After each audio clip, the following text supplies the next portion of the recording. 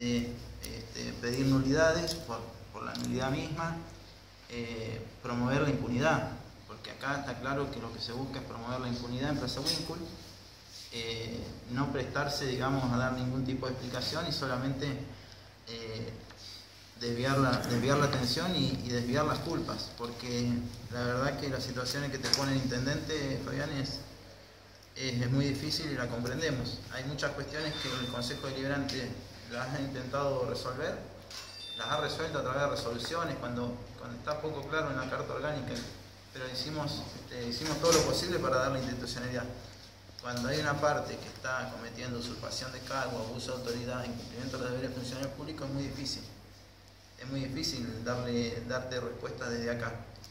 Eh, ¿Vos tenés alguna idea de cuál es la cosa, lo, que corresponde acá?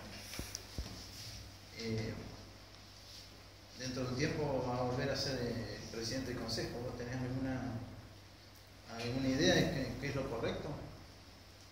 Mira, si con respecto a lo que es lo correcto, esto surgió, hoy hay una, situación que, que, tiene que resolver esto, es el Tribunal Superior de Justicia.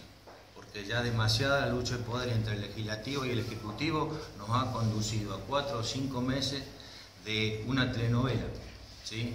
y, ninguno le pone, terminamos poniendo soluciones al fondo que es este, Plaza Winkle. No le estamos poniendo la, solución a Plaza Winkle.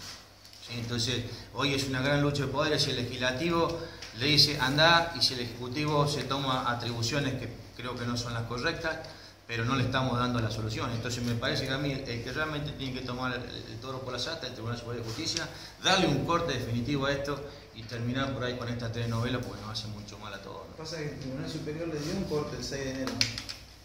Le dijo, eh, deje trabajar, le dio un corte. Sucede que si uno quiere judicializar, puede estar todos los días en el Tribunal Superior de Justicia. Si uno quiere